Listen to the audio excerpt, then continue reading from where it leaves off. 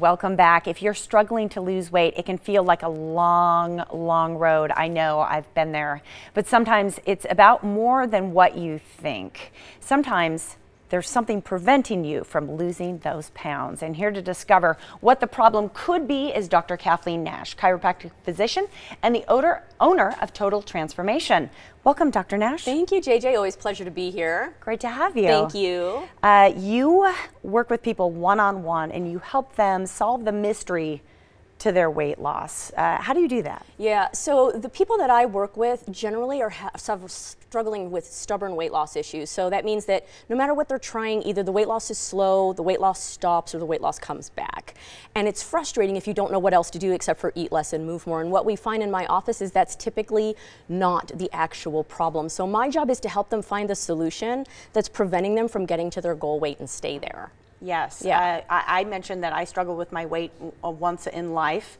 Uh, you also struggled with your weight at one time. I uh, did. But you were able to kind of navigate that path you needed to navigate and find the answers. Yeah, it was frustrating. You know, I had started gaining weight when I was eight years old, and this is back Aww. when our children weren't really heavy, you know, so it was rare. Mm -hmm. And it seemed that every diet I went on, I'd lose some, but I'd never get to my goal, and then it always came back and it went back higher. So I technically ate less and moved more into a 237 pound body. Oh. Yeah, and it was in 2009 that I started investigating. There's got got to be something underlying that's causing the issue.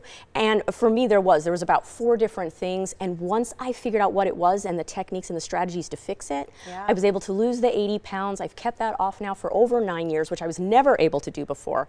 And I do it eating between 2,000 and 3,000 calories a day. And now my clients do the exact same thing. They outshine me every day.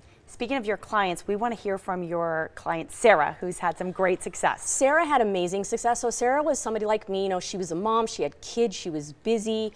Um, every time she would try to lose weight, she'd do it for a little while, but it would be so slow and so frustrating that she oh. would just quit. Um, when she started my program, she ended up losing 68 pounds. She lost 35 inches just in her oh, midsection wow. alone. So we were able to target that fat loss to where she wanted it the most. Yeah. And then she was eating up to 3,000 calories a day and keeping the weight off. Oh, I tell you, that struggle of dieting is so awful. I hate being caught in that. Let's hear from her. Absolutely. Yes. In just three short months of losing weight, I've lost 52 pounds and 35 inches off my waist, which is where I wanted it most.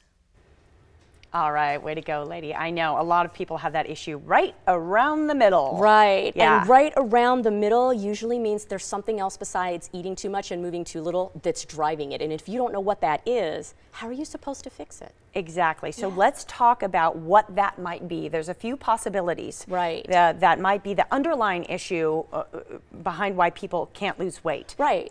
Absolutely. So great. You know, people are always like, "Well, that's great, Dr. Nash. You're telling us that there's some stuff underneath that could be going on, but we don't know what in the world that is." Right. So the one that we're going to talk about today is toxicity. Mm. So there's one specific toxin called Candida. Mm -hmm. Candida is a fungus or a yeast, and it's in normal amounts in the body normally, but when it overgrows, it can actually cause a weight gain of 32 pounds a year. Oh. It drives hunger. It drives cravings. These are actually little bugs that are living in your gut, and they secrete chemicals that trip your nervous system into making you hungry and crave the foods that they want to eat.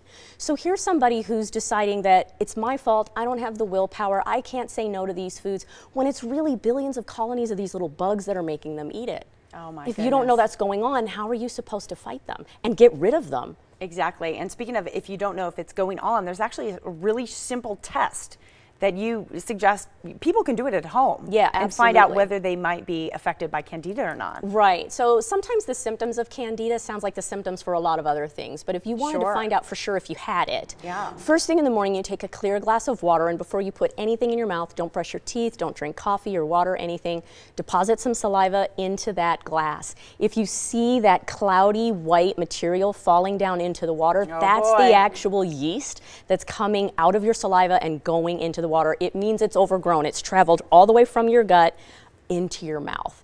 And they're stubborn little bugs. They're hard to get rid of. It takes specific protocols to do it.